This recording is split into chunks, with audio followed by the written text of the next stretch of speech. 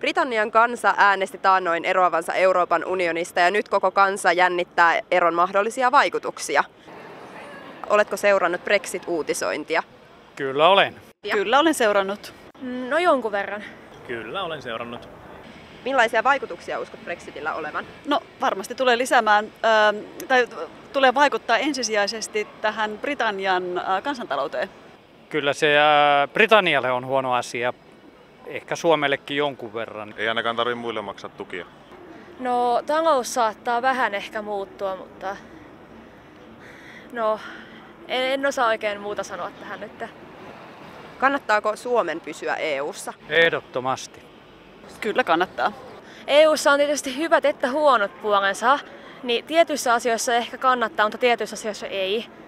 Kyllä kannattaa. Uskon siitä olevan enemmän hyötyä kuin haittaa.